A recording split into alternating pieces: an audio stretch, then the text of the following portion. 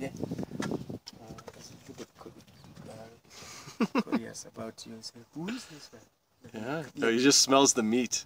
Let me greet him. Let me greet him. Hi. I'll be giving you the last one, my boy. Yeah.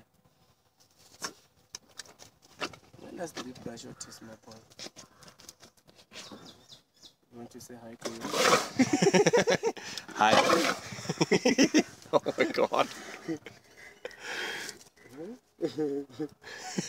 no, that is not unwelcome culture.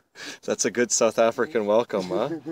Ah, yeah, I know. You're a big boy. Don't worry. You have my full respect and attention.